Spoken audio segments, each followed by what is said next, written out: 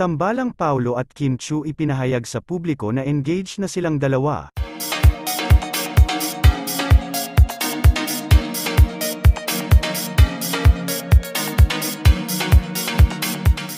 Kamakailan nga lang ay lumabas ang balita na nag-propose ang aktor na si Paulo Avellino sa aktres na si Kim Chu, dito ay maraming mga netizen ang nagtanong kung ano ba ang sagot ng aktres.